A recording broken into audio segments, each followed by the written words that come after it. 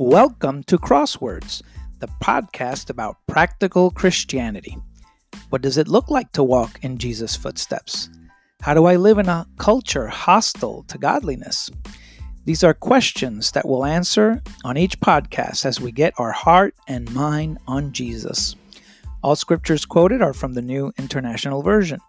You can follow me on Twitter at kingdom underscore saint. Walk with the Lord today and be a blessing.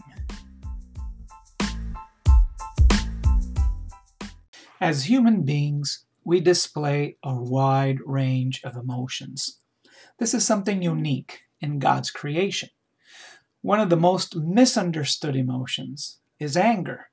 In our culture, anger is sometimes represented by different images like a raging bull with smoke or clouds coming out of his nostril, an emoji with also clouds or smoke coming out of their nostrils, or perhaps with their nose bright red or some part of their face red while they're grimacing in anger. And these icons are usually quite accurate when representing the Hebrew phraseology for anger, which God describes that he is slow at getting. We go back to our verse describing God's character, Exodus 34, verse 6 which reads, The Lord, the Lord, the compassionate and gracious God, slow to anger, abounding in love and faithfulness. So far, we've looked at the Hebrew words for compassionate and for gracious, which are rakum and kanun, respectively. Rakum, or compassionate, uh, means God's tender and protective affections, akin to the womb, a safe place, a nurturing, place. Whereas gracious from the Hebrew kanun means God's favor on the undeserving, the undeserving interest God takes in us to improve and bless our lives. And the next one that we're going to take a look today, slow to anger, which is two words, arik, which means slow or long, and af, which means a breathing place, which means the nose or the nostrils or the face, and also means anger. So this could be interpreted in a few different ways. It could mean slow breathing, arek af, long breaths or slow breaths. Patient, right? You're breathing evenly. Long suffering means that God is even keeled. It speaks to God's evenness of disposition. He doesn't get easily tense or anxious. He doesn't allow other people's emotions or dysfunction to get him out of kilter. He doesn't easily have a cow.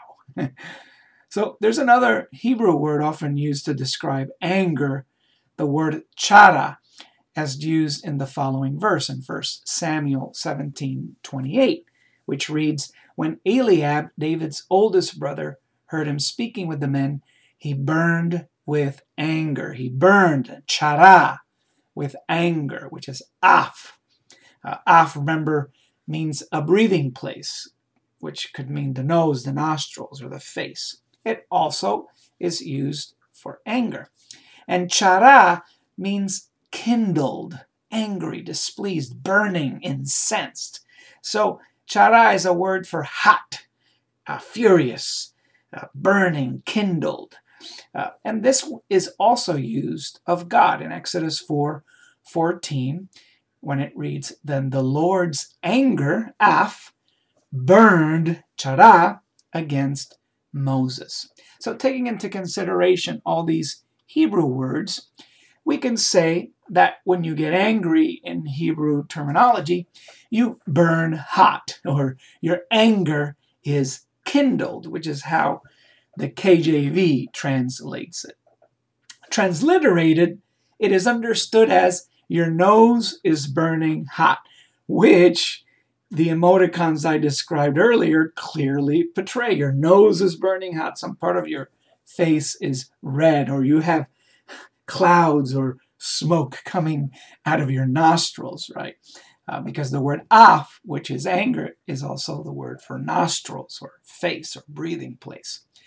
So we can say God's nose or God's anger, takes a long time to burn hot. God's breathing is slow and even. It takes a lot to get his breathing fast paced. He's of even disposition. He is even keeled. He doesn't get easily tense or anxious. He doesn't allow other people's emotions or dysfunctions to get him out of kilter. He doesn't easily have a cow. God has a high degree of tolerance, and not just tolerance, but an outlook of compassion. We all have a nose, we all have a breathing place, we all have an af, uh, as the Hebrew word describes, and we usually breathe normally. Take a breath in, take a breath out. Our breathing doesn't get fast paced unless we're exercising, which is normal and expected. But what are other things that can make your breathing rapid and uneven? Eh, emotions, stress in particular, anger. These things can get our anger, our nose, kindled. It can get our anger burning. Those of us raised in Western ways of thinking, we tend to think of anger as something bad, an emotion we'd rather not deal with, or even try to understand in others. We treat anger as a problem, as something we need to weed out of our character. I think that's why we have so many outbreaks and dysfunctions when it comes to this. But it's normal to get angry. Good people get angry. Normal people get angry. If someone doesn't get angry, then something's not normal, I would say. Now, to be a hothead is not a good thing. That's not good to let your anger control you. It's not a good thing. It's not a good thing to let any emotion control you or lead you in making decisions that you might later regret. And the Proverbs speak to that. Proverbs 15:8. A hothead person stirs up conflict, but the one who is patient calms a quarrel. And the Hebrew words for this is quite interesting. Hothead here is the Hebrew word kema, which means heat, poison, rage. Whereas the word for patient, guess what? It's arik af. The same two words God used to describe how he is slow to anger. So the Bible speaks of anger as a normal part of our repertoire of emotions. We see that in Ephesians 4 26 and 27, where the Apostle Paul says, In your anger, do not sin, which he's actually quoting Psalm 4, verse 4, which we will see in a minute. He says, In your anger, do not sin. Do not let the sun go down while you're still angry, and do not give the devil a foothold. This verse assumes we're going to get angry. but we don't need to let anger rule us or define us any more than any other emotion. If we let anger rule us, that is, we're letting days pass by and we're still angry, we're going to bed angry, that's when we open ourselves to allow the devil to trip us up. Hence, we're giving the devil a foothold. So, this verse teaches us that although it's normal to get angry, we don't want to let it become sin by taking it to bed and therefore giving it control over your life to the devil. Paul, as I said before, is actually quoting Psalm 4 here, Psalm 4, verse 4, where it says, Tremble and do not sin in the NIV. When you're on your beds, search your hearts and be silent. So the Hebrew word there for tremble is ragaz. And it's very interesting because this verse, uh, this verb, sorry, means to shake or quiver or tremble as with a violent emotion like fear, rage, or anger. So to tremble, to ragaz, means to be disturbed, troubled, or fretful. It is normal to get into this state, but search your heart as to why and give it to the Lord. That's what the psalm is saying, right? Tremble and do not sin when you're on your beds. Search your heart and be silent. The be silent here is a way of saying, trust God with it. Give it to God. Don't try to resolve what's making you tremble with your own misguided presumptions. If you're taking it to bed, it means it's got a hold of you already. You need to give it to the Lord. So often we get angry. and that is normal. But can we try and understand the emotion itself? What is it teaching us? Is it saying something about us? Is it saying something about God? When we misunderstand the emotion of anger, we may think God's slowness to anger is at odds with the many instances in Scripture when we're told that his anger is kindled. Now, we all have the capacity to display emotions that come straight from God's image. We were made in his image, which is why God is so relatable to us in the way he discloses himself throughout the scripture. He's not an emotionless or one dimension God. He describes all of his emotions and does so without apology. Similarly, there is no apology to be made when we display our emotions, unless, of course, we have sinned in any one of them. When we get angry, we can have the propensity to sin in our anger because often our anger is an expression of something we're not able to control or accomplish or understand. We feel powerless and we may vent, and that's when it can lead to sin. That doesn't mean that when I get angry, I'm sinning. I get angry with my children because I care for them. I get angry with people I work with or with situations because I care. Sometimes I wish I wouldn't care that much, but I do care, and I'm not going to apologize for that. However, as James teaches in James 1 19 and 20, everyone should be quick to listen, slow to speak, and slow to become angry. God wants us to be like Him, to be slow to anger. But James adds this because human anger does not produce the righteousness that God desires. So James makes a distinction between human anger and divine anger. We should never presume our anger is justified or divine, because that in and of itself could lead us to sin. Anger gets kindled in us because we care. We deeply care. It's okay to care. When I'm angry, I tell myself, vent your anger. I'm going to get angry for, for 10 seconds. Ah, and then let it go. Oh, and I feel great when I do that because then I don't have to sleep on it. I don't have to take it to bed. Or I don't let it drive me nuts. I just acknowledge it. I understand where it came from. Hey, I care. Can I do something about it? Probably not. Hey, even when God was angry, why did he get angry? Because he was not able to control his people, who are usually the cause of his anger. but that's part of having relationships in it. When we care for each other, we're bound to get angry at some point, and we have to learn to accept each other's emotions, learning to be tolerant, giving each other room to grow, room to learn, room to mature. Sometimes it may be hard to track where your anger is coming from and what triggers it. That's when you need some extra help, like anger management. In anger management, you learn to track your anger so you can get in front of it and manage it adequately before it runs you over. and journaling is a great tool to use in this kind of therapy. We see the psalmist use journaling. That's what the Psalms are. They're journals of these godly people that were dealing with their emotions, trying to vent their emotions in, a, in an appropriate way, and ultimately realizing that God is always the answer. We always have to defer to God. You see, God's anger never gets mismanaged. It is never out of control. God is not only willing to tolerate, but to be patient. His patience is as much a display of his love as is his anger. He's quick to forgive, and he doesn't hold on to his anger as we do. Check out Micah 7 18 and 19, which reads, Who is a God like you, who pardons sin and forgives the transgression of the remnant of his inheritance? You do not stay angry forever, but delight to show mercy. You will again have compassion on us. You will tread our sins underfoot and hurl all our iniquities into the depths of the sea.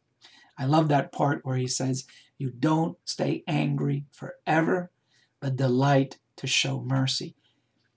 Likewise, in Psalms chapter 30, verse 4 and 5, it reads, Sing the praises of the Lord, you his faithful people. Praise his holy name, for his languor, sorry, for his anger lasts only a moment, but his favor lasts a lifetime. Weeping may stay for the night, but rejoicing comes in the morning. Oh, I love that. For his anger lasts only a moment, but his favor lasts a lifetime. These scriptures teach us that God favors, favors mercy, favors showing compassion. He tips the scales when it comes to expressing his anger. His anger is short, it's controlled, it's righteous, for he's always looking to impart favor on his people rather than judgment. He delights in showing mercy rather than condemning. His anger doesn't manipulate him or cloud his judgment. And we need to have the right perspective about our anger to better relate to the Lord in the right context so that our anger doesn't sweep us up and lead us astray. That's how people misunderstand God's anger because they only see it in human terms or negative terms. For their anger has probably been a negative experience for them, and so they try to attribute God's anger to be like theirs, and that is a big mistake. God's anger is not what defines him, as we see in these verses. Rather, that he is slow to anger because his favor, his love, his mercy, and compassion is what he chooses to display, even when there is a cause for anger, and even when he has been angry. God's anger is not unpredictable or irrational, as human anger may tend to be. Irrational human anger is just an extension of irrational and unpredictable people. But responsible, loving, and caring people, they also get angry. And we may tend to take notice when we see that because it makes them relatable and human. And we interpret their anger as a display of great caring for something. Their anger is quite predictable because it's tied to their morality. They get angry when there is something immoral, unjust, or illegally done that would bring harm to others or disrupt relationships. That's a good anger. But even in that kind of anger, the responsible and moral person would be able to temper it with patience, forgiveness, and compassion. Even in that anger, moral people defer to God and don't attempt to judge, but they leave it to the Lord. This is the kind of anger that does not get out of control, that it's properly contextualized. The anger of the Lord uh, is yet another way that we can see how much He cares for us. This is our God. He, he cares, He's involved. And we need to learn what can cause His anger to be kindled so that we can gain His favor and His blessing. Psalm 103, verse 9 and 10 will say, He will not always accuse, nor will He harbor His anger forever. He does not treat us as our sins deserve or repay us according to our iniquities. So this is the Lord. His anger doesn't ju- doesn't cloud his judgment because it says he will not always accuse, nor will he harbor his anger forever. In Isaiah 54, 9 and 10, it says, Now I have sworn not to be angry with you, never to rebuke you again. Though the mountains be shaken and the hills be removed, yet my unfailing love for you will not be shaken, nor my covenant of peace be removed, says the Lord who has compassion on you. Again and again, the Lord makes it clear his anger comes from a place of caring, not hating. It is revealed as a warning for our good, not displayed to make us cower in fear, unless we're dull enough to need that. Unless our anger has gotten the best of us and we're judging God according to our limited understanding, we will understand and we will take God's anger as a display of his care for us. But anger that is out of control in humans will lead to bad judgment. Emotions tend to impair our judgment, even good emotions. We shouldn't be making big decisions when we're happy, sad, or angry. Emotions cloud our judgment. But God's judgment is never impaired because his anger is always justifiable and is always kept in check and never gets the best of him. As we see when Abraham and Moses intercede for Sodom and Israel, respectively. In Genesis 18:32, uh, Abraham says, May the Lord not be angry, but let me speak just once more. This is like the third or fourth time he's interceding before Sodom and Gomorrah. What if only 10 righteous people can be found there in Sodom? God answers, For the sake of 10, I will not destroy it. When God's anger would be released over Sodom and Gomorrah in judgment, God accepted Abraham's negotiation. He was willing to skip the destruction of the cities for 10 righteous people found in them. Were they found? No. Noah was the only one found righteous in the entire world. Would 10 be found in Sodom? No, they were not. But there was one righteous soul there, Abraham's nephew Lot, and God helped him escape before the judgment swept the city away. Would Lot have been spared if not for Abraham's intercession? There were many times that Moses interceded for the wicked from Exodus, Leviticus, Numbers, and Deuteronomy. For the rebellious people of Israel, Moses stood the gap many times. Many times God's anger was kindled at their rebelliousness, and he was about to wipe them out and remake Israel through Moses. But Moses, Moses interceded. Sometimes it was Moses and Aaron interceding, asking God to relent from his anger, and God did. He was willing to back down. And this is proof that God's anger never gets the best of him. As long as you are able to approach him and willing to approach him, willing to humble yourself before him, seek his face and forgiveness, God is right there, always, wanting to take you back.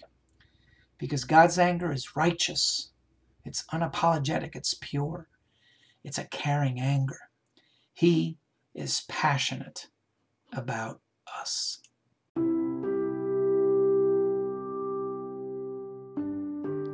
Thank you very much for listening. I hope the Lord gave you insight into conforming to Jesus with today's message. I always appreciate feedback. You can send me your thoughts, musings, and comments directly through the Anchor app. You can also contact me on Twitter at kingdom underscore saint. Walk with the Lord today and be a blessing.